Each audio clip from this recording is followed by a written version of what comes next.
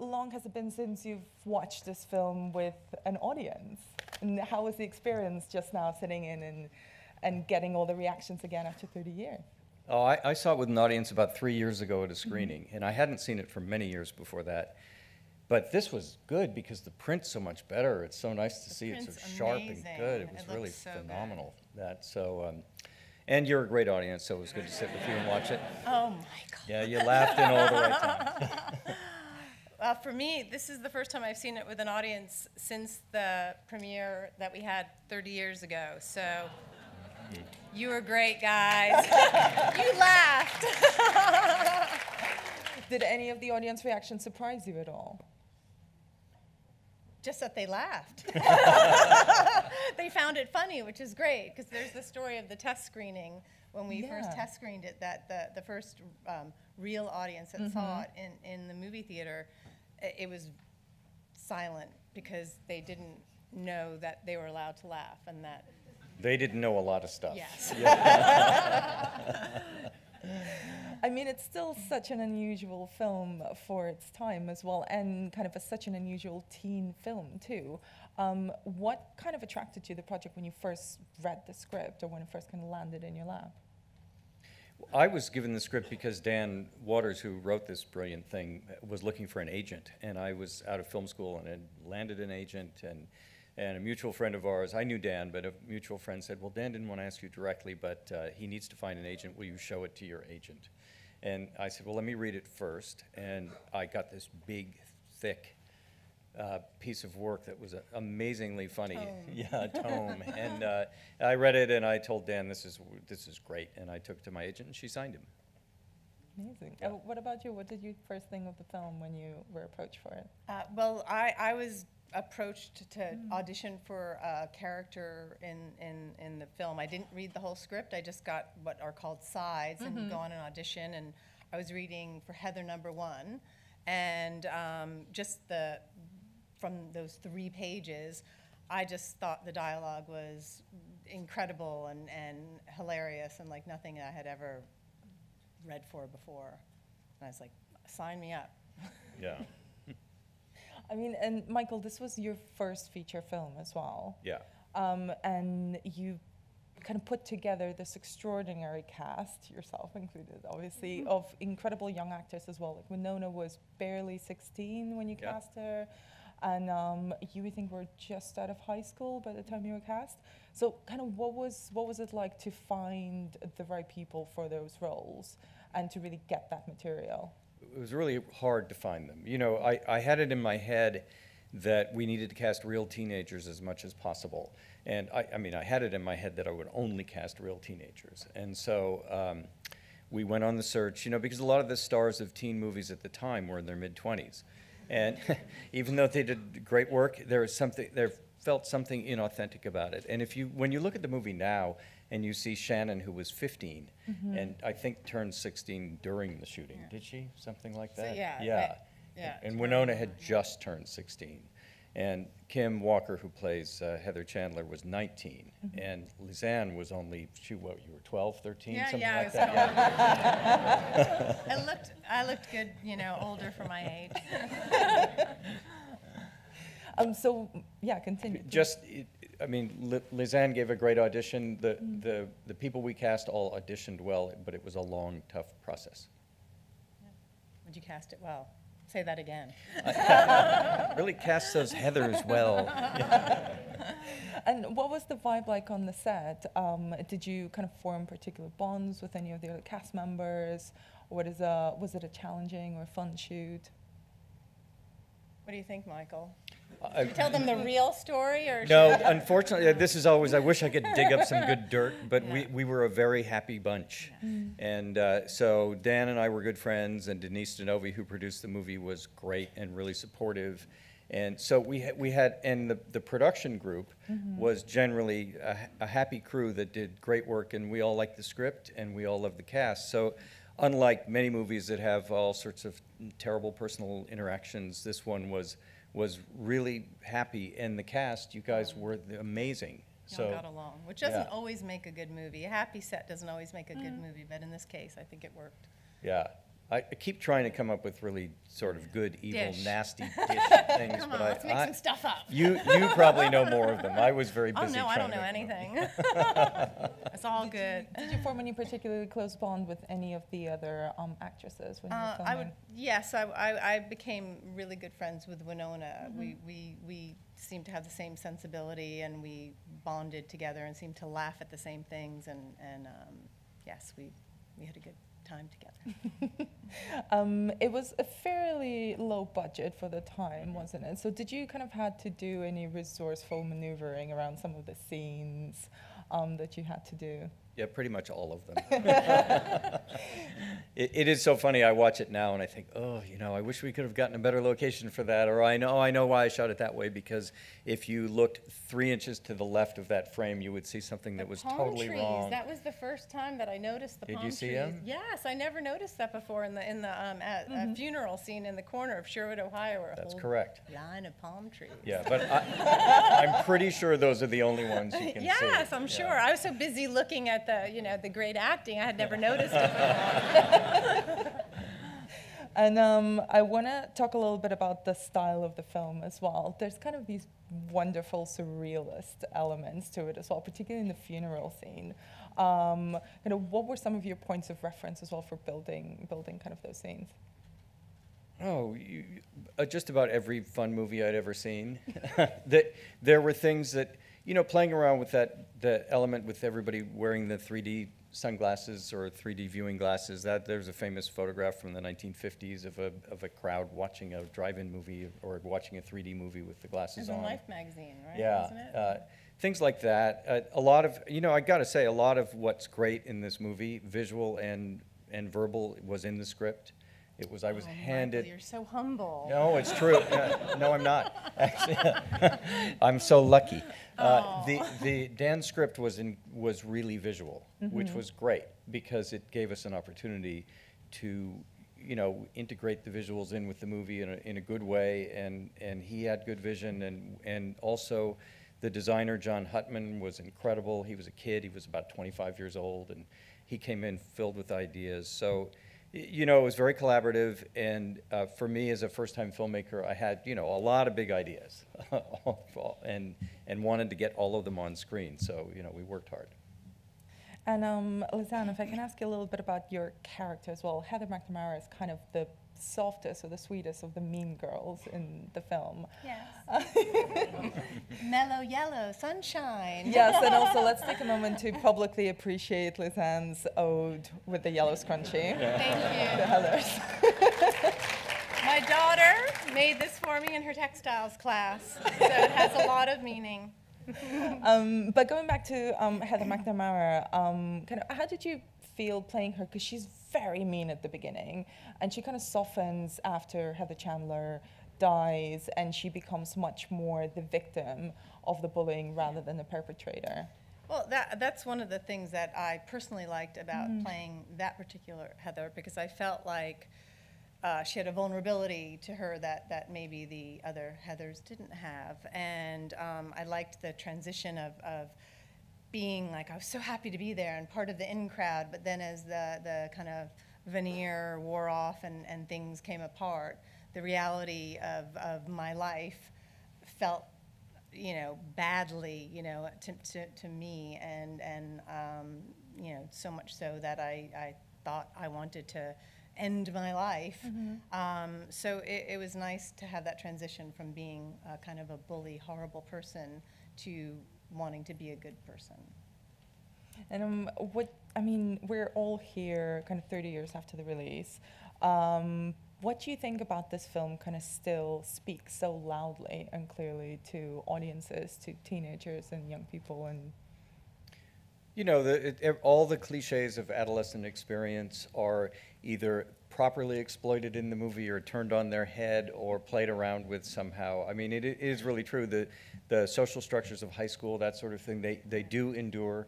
Mm-hmm. And even things that felt like they could have been tired back then, we, we tried to inject a very dark, humorous approach to, to those elements. And weirdly, that still, for me at least, kind of still plays. It's still alive. And so Uh, you know, the, it, the world is a different place now than it was 30 years ago, and it's exactly the same place that it was 30 years ago. Yes. High school experience can be the same on that level, uh, regardless of when it happens, and just trying to find out who you are, what you're made of, how much, you know, how, how how much you feel the need to fit in, and how confident you feel to be independent and, and free thinking. And that's why Veronica's such a great character, because she starts off wanting, you know, she is part of the in crowd and then has a whole, you know, questioning of, of who she is and, and realizes this isn't what it's cut out to be.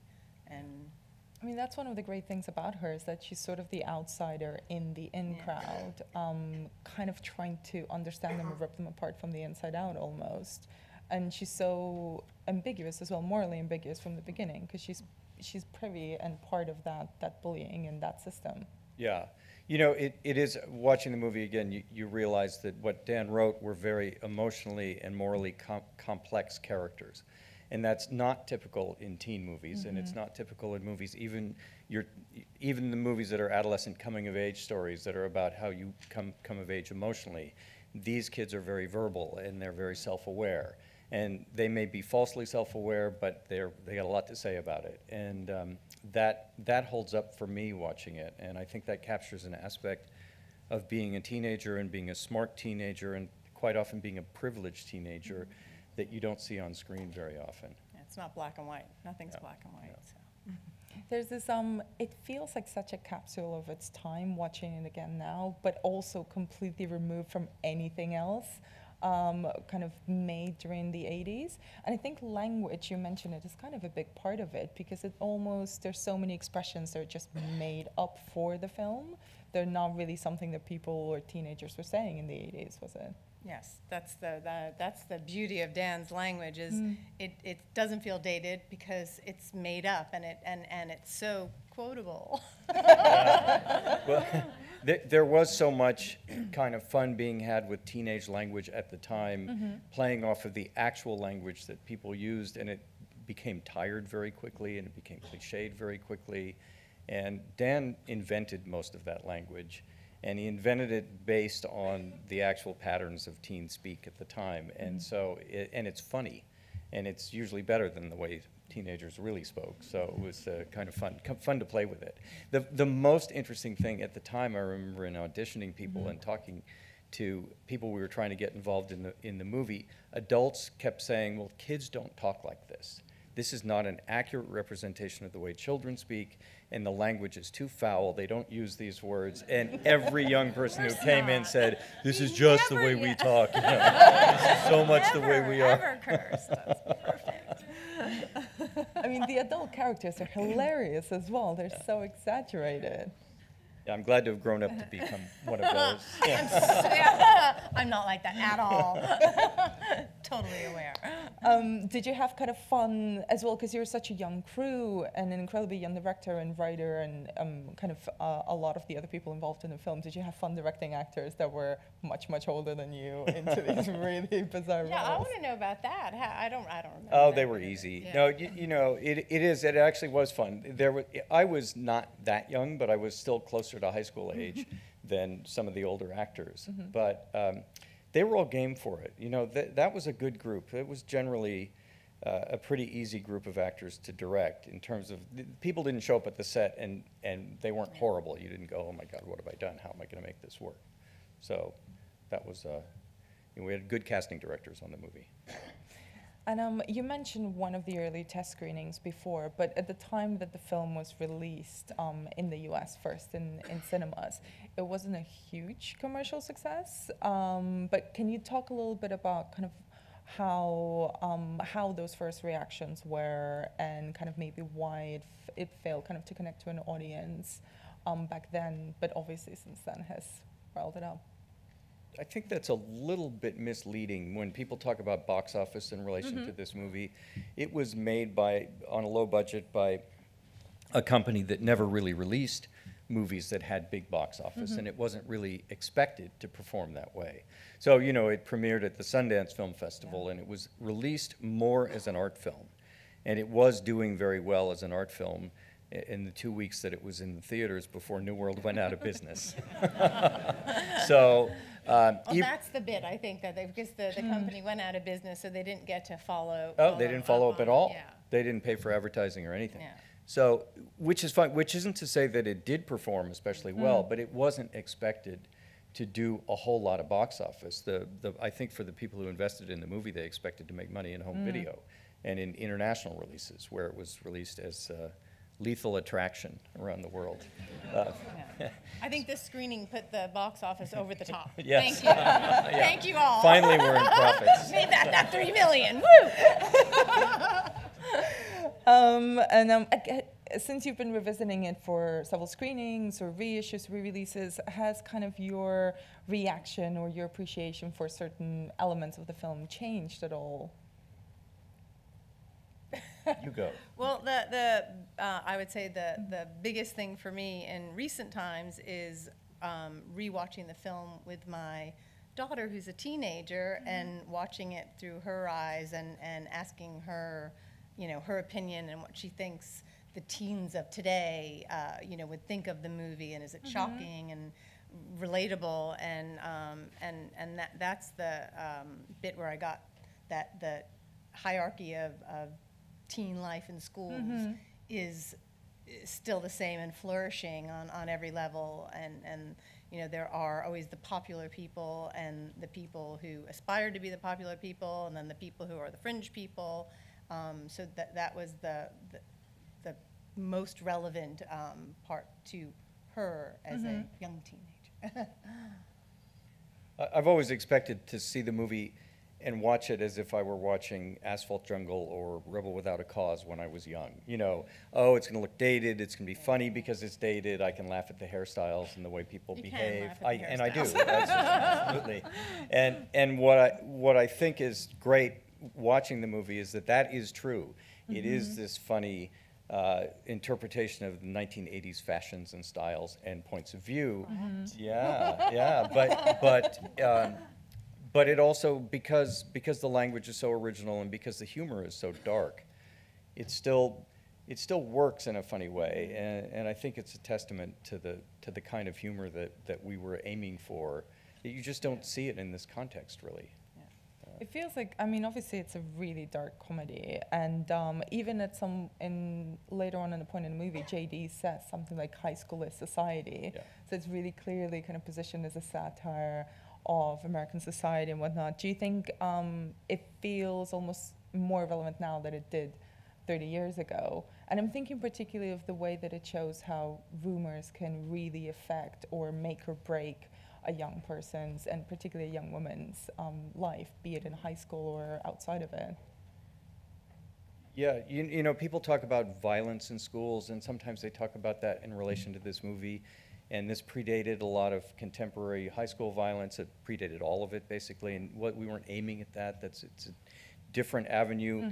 But really, when you watch the movie now, you say, "Aha! It was on target regarding bullying and the nature of that kind of cruelty among teenagers." And that was always what the movie was about, anyway.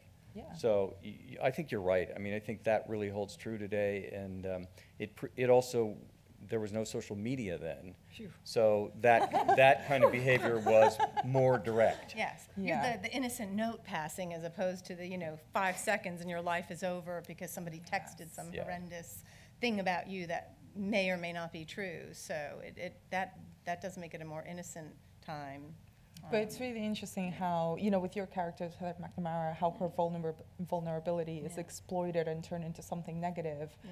And um, with Martha in particular, I love, I mean, it's the saddest part of the movie for me, the fact that she doesn't speak till the very, very end shot almost, but she's always in the background and she's the one character who's suffering, but who gets joked But she about. does find her voice She then at the end, so Yeah. that's the upbeat part of it. and she finds a friend. Yes.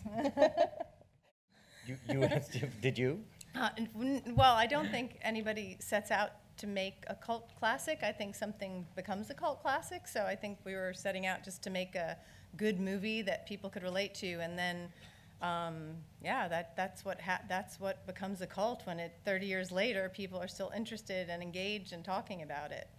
So unless you set out to make a cult No, classic. I mean, you set out to make the best movie ever made, you know, you, you know, you, you think, I'm gonna just knock this thing out of the park, it's gonna be so perfect. And about, uh, partway through the first hour of the first shooting day, you realize, okay, I just wanna get it done. Yeah. Let me finish. Just let me finish. Yeah, but um, we did know that the script was special, and we also knew that the cast was really amazing. So by the time we started shooting, there was not no sense of we're going to make a great film or this is going to have a cult following or anything, but it was. we've set out to make this really odd, really funny, really dark film, and it and and it might work. So there was that level of confidence. And when it was finished, we all looked at it and, and said, "Wow, this thing really, it's, it's actually pretty good." You know, it kind of, it makes us laugh or whatever. So, you know, uh, my friends, all, all the people that we were making the movie with, were all very tough critics and tough, tough self-critics. So we weren't entirely happy, but we thought we had something pretty good on our hands. We were definitely, obviously, aware of, we all were fans of and, and fully cognizant of the teen movies of the time, and in particular, John Hughes movies. This movie was never in- intended as a reaction to them or a satire of them. You know, we were making it concurrently with some of those films, but we definitely set out to make a movie that was very different in sensibility. And we knew that, and we wanted that, and we made it clear to everybody that this was not going to be like those kind of movies, as much as we actually liked them. Uh, and uh, and the original ending, uh, the school blows up and there was a prom in heaven. It was it was really good. I'm sorry to say we can't show that to you because we never were able to shoot it. but uh, the the financiers supported most everything that was in the script, which was great and unexpected. But Dan and I were told that uh, we wouldn't get the movie made at New World Pictures if we didn't change the ending. And then we turned around, quickly looked to see if there was anybody else ready to finance the movie, and we found nobody. so we, we reluctantly changed it, but I'm not, in- I'm not entirely unhappy with this change. I would have preferred it to end the way Dan originally wrote it, but, uh, you know, somebody else can make that one. Oh, that's a good question. There are things that didn't make it to the final cut because they didn't really work. Because they weren't outrageous enough. Yeah, they, sometimes they weren't Didn't work or outrageous they're enough. outrageous. Um, the, the whole cafeteria sequence in the beginning was longer, and it had more stuff that was pretty great on page, but what we found was it took too long for the movie to kick in. And so even though that material was good, it just, you wanted the story to really start. Uh, there were kind of questionable scenes, like when, when Veronica takes a shower clothed after the first uh, murder, there was a whole sequence in which the geeky boys looked through a peephole in the shower. That's two Porky's. Uh, yes, and well, it was it was meant to be a, a joke on Yeah. Porky's, Okay. which was, a, and, and all the other girls in the locker room went clothed into the shower. Oh, so yeah, they were going, God. "What? We've been cheated." This is, and, and it, it was really stupid. Yeah. And and we shot it because it was also kind of silly fun, but we'd never made it into the cut. We had to cut down some things before shooting just to meet the budget, you know, and to and to meet the schedule. So that you know that that happens. It happened on this film, not a whole lot. Uh, no, I wouldn't say. I think there was a cut that was, well, it could have been as much as ten or fifteen minutes longer at one point, but that was before the whole thing got tightened up.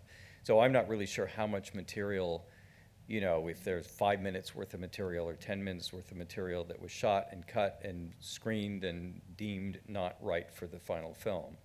That always happens when you make movies, it's part of the process. Um, I screened an earlier version of the movie for a group of friends who were pretty sophisticated about filmmaking, or so I thought, and they all came up to me afterwards and said, Man, you blew it, too bad, you fucked it up, it's terrible. and I said, oh, oh, no, no, no, this is, uh, we're, we're playing around, you, you, it'll get much better in the cutting room. And, it, and it did get better in the cutting room. Well, I, wait, I just remembered something as you were talking. I did a bunch of cartwheels that I worked really hard on, and, and you cut them out of the movie, and I was Oh. always really upset. it was my one, you know, in my che- that I actually did cheerleading. Oh. Yeah, so I'm, I'm really sad. You're gonna have to ask him. Oh, I think he might have been up to some bad Oh. things in those schools. He definitely wasn't stable. Maybe he was conceiving of, I think maybe it was a buildup, and then he Yeah. found his right partner in crime to, you know, I We, we never projected a backstory on him in which he had actually committed other murders. So when, when Veronica says, hey, that's good, have you done this before, when they do the first suicide note, and he raises his eyebrows, as he tends to do quite a bit in this movie, uh, the point wasn't, yes, he's done it before, but no, it's been building to this Yeah. point. And also with the, you know, it was innocent with the, the, you know, he didn't really mean for her to take the, the no hull rust cleaner. He That's was- right. He was trying to stop her, and then, then it just, Right, he didn't know he was doing anything wrong. This is Innocent something that's part of. American life, don't you guys know that? We don't do bad things, they just happen. Oh, Ooh. Oh, God. Wait a minute, they're rebooting it with all the same people, but we're really old. and we didn't, you know, we didn't graduate from high school. We're still there and we can't get out. No, I think uh. Heathers with Justin Bieber is going to be incredible. You're saying it's relevant 30 years on, so uh, After climate change in Yeah. 30 years, you tell me. we hope so. We hope we're, we hope we're sitting here in another. Yeah. No, I mean, I would hope that we would evolve. Uh, we haven't during my lifetime, but there's always, there's always hope.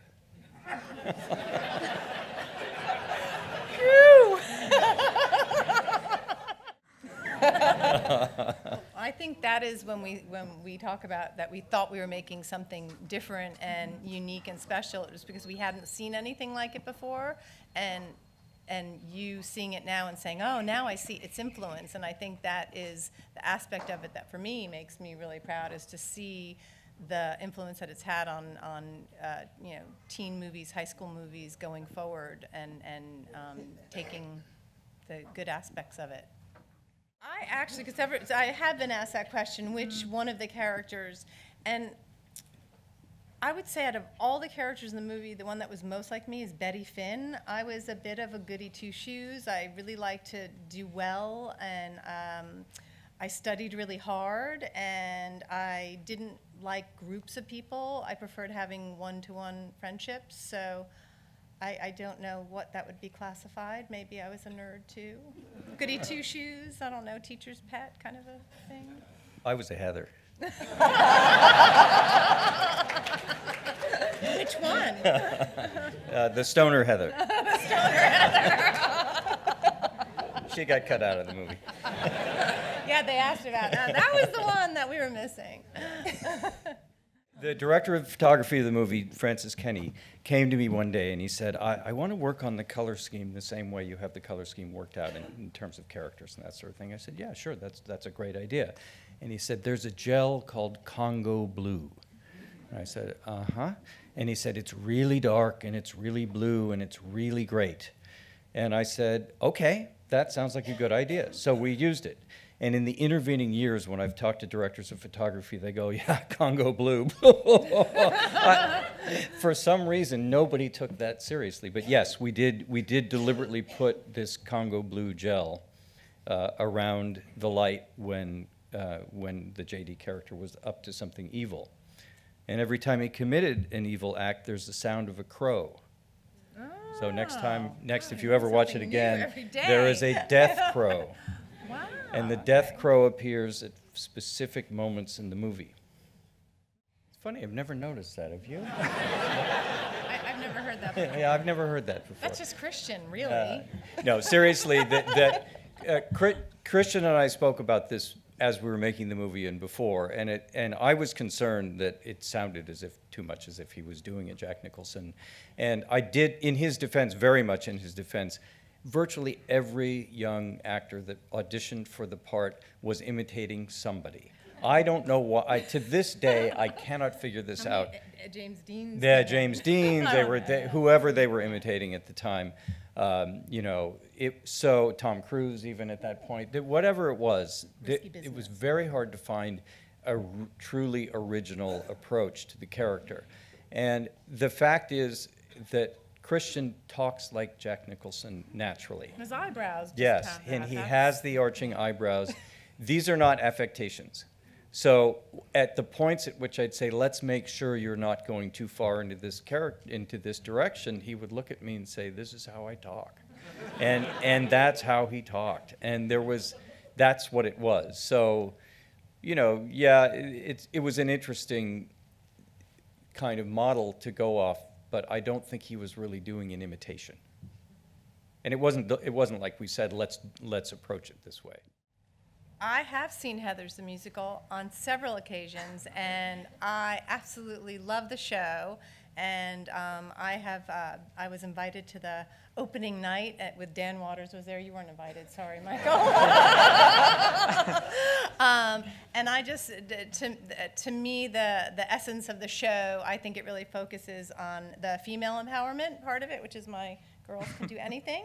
Um, and I just love that it's it's uh, hit here in London, and and that um, it's bringing it to a whole new generation of audiences. So Yeah, I saw, I saw an early workshop version of it in Los Angeles and was, you know, deeply amused by it. I thought it was really funny and uh, couldn't believe that they were taking this movie and turning it into a musical. But, but it was very clever and, uh, and it was, uh, you know, a lot of fun. I was, didn't see the, any of the more recent productions, but I will come back to London to see it here because I hear it's so good, it's worth a trip.